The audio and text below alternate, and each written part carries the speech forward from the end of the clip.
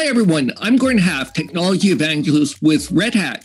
And in this video, we will talk to you about application possibilities. I'd like my guest, Coco, to introduce herself now. Hi, I'm Coco Jaenicke, and I am a Director of Product Marketing in the Application Services Business Unit at Red Hat. So, Coco, let's start by talking about the problems. What are the challenges that people are facing today when it comes to application development? Well, the problem I hear again and again and again is how to increase velocity. Uh, competition is just stronger and stronger every day, and all I hear about are teams needing to get their applications delivered faster and faster, and not just get them to market, but then be able to churn on them rapidly and keep up with changes in the industry, changes in the market, changes in technology. It is all about velocity. Let's talk about developer productivity specifically. What is getting in the way of developers being as productive as they could be? I think the most frustrating thing for developers is not being able to develop. If they don't have the tools that they need or they're working with tools they don't particularly like, it can be really frustrating and get in the way of productivity. Also, if they have to wait for their environment to be set up, again, that's just wasted time.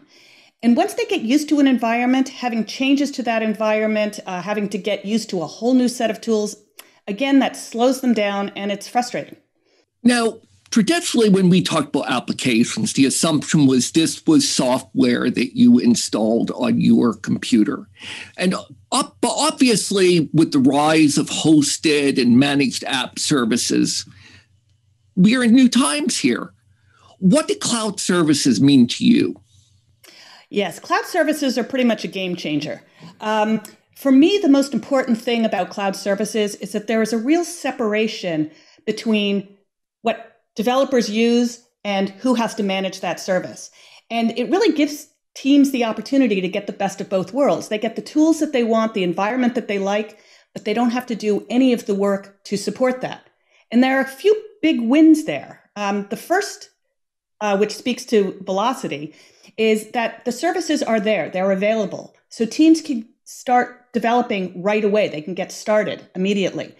Um, but also, organizations don't have to invest in uh, building up skills in how to manage infrastructure. They don't have to put precious resources on managing the infrastructure. They can basically outsource that. And teams have also figured out that in the long run, it's often a lot cheaper because you only pay for what you use.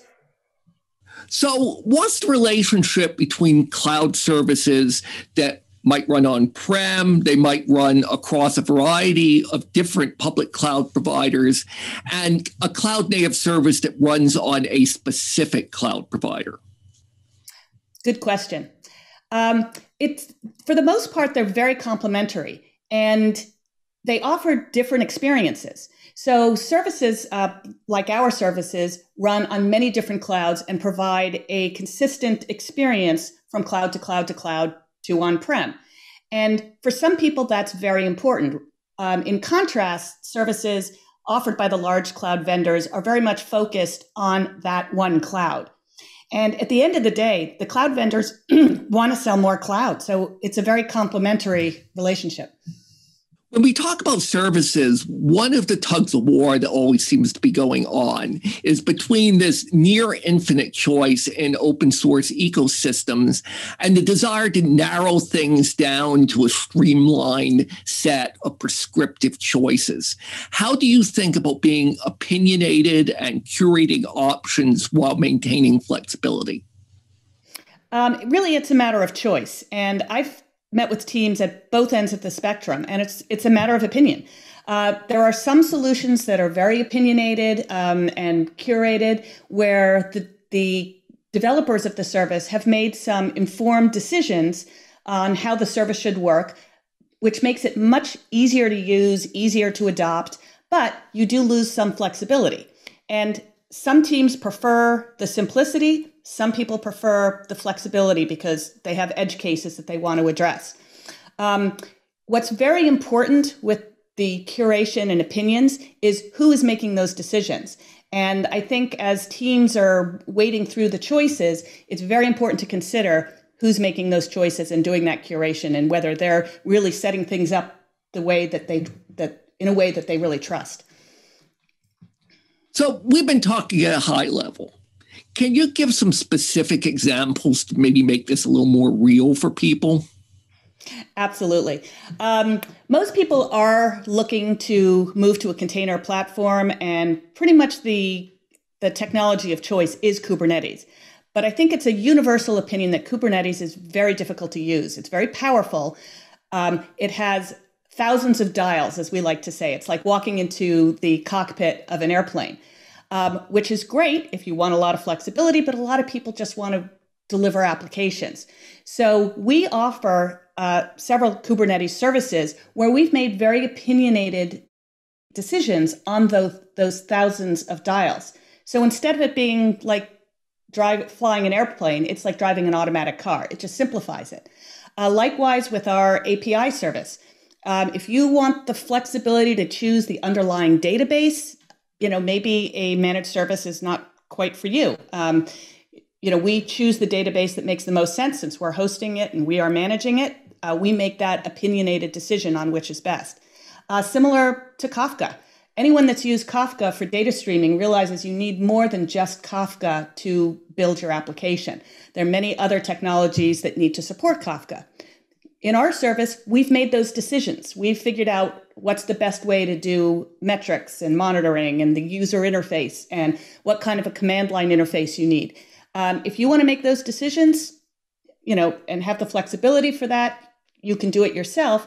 Or our service, we provide a curated experience, and we do that for you.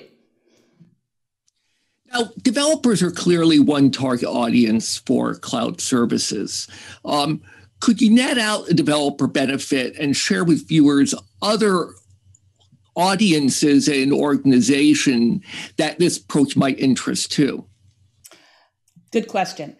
IT ops is a, a, persona that is also very interested in the pros and cons and the different ways of using cloud services. Um, for them, it's there are two major major categories of benefits. I think a lot of IT ops people wake up in the morning worried about how they're going to get applications running on different clouds and support different clouds. And cloud services can solve that problem for them. They don't have to worry about that. I think another challenge for IT ops is often building out the ecosystem for an individual service. I mentioned that Kubernetes has a lot of technologies that support the Kubernetes engine at the core. Same with Kafka. There's an ecosystem that makes it possible to do data, uh, streaming data driven applications. If that is already put together, already tested, already running, already available, it simplifies the lives of IT ops considerably and they can focus on other things. And I think another persona that is very interested in cloud services is anybody who's lead, leading the business unit, uh, the line of business, the person who is focused on delivering business outcomes and, and getting apps to market so that they can offer more to their customers. They're going to see cloud services as a way to up the velocity, get there faster, and spend resources on building business applications, not on supporting infrastructure. So our viewers have heard all this. They're probably really excited to get started. So where do they go? How do they streamline and modernize their practices like now? Well, I'm glad you asked. Uh, because cloud services are delivered as services, they're already there. They're already ready, ready to use. So it's very easy to um, to sign up and start using. Basically, the minute you sign up, you can start using the service and start building. Um, and it, you mentioned modernizing and streamlining applications. I know that's a major focus for a lot of teams today.